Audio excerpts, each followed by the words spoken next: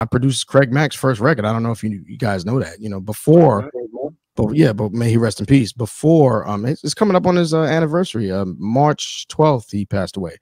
Um, uh, his first record before Flavor in Your Ear, before Bad Boy, I produced it. It was called uh, Get Retarded, and that's what got him the deal on Sleeping Bag Records when his group went by MC EZ and DJ Troup. Troup was his DJ. I was the producer for the record.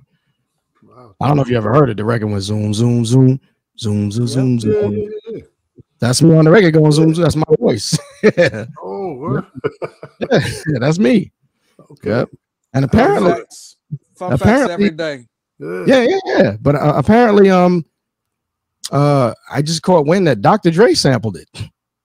Ooh. He did a he did a record, I think with L. You know, I got to talk to L. I think he did a record with Oh, LL on- called on the Zoom. soundtrack. It was on the Yeah. soundtrack. A mo- yep, a movie soundtrack, and I never heard it before. But they, Huh. they said it's dope. I was like, I'm, I'm sure if Dre and L, that's a combination you can't beat that with a baseball bat. Hoo-ha! Yeah. Hoo-ha!